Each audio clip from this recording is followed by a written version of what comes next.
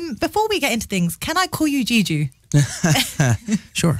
I feel like it's only right as you're here on the Asian Network to call you Jiju. A lot of people call you that, right? Uh, a lot of people do. Um, we were we were just in uh, Mumbai recently, um, my wife and I, for um, the cultural center that the Ambanis opened, and, and it was a great event. And, and all the photographers on the red carpet were calling me Jiju. Well, they were also calling you something else when you were there. Uh, did you hear this?